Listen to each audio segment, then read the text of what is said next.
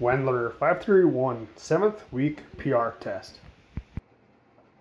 Here's a warm up set. This is uh, 155.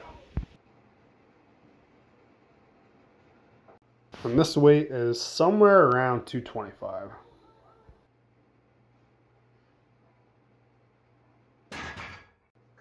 Here's 264. 292.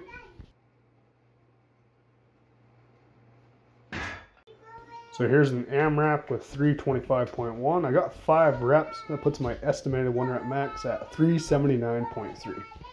Yeah, it was another good uh, little workout. This uh, was definitely a PR.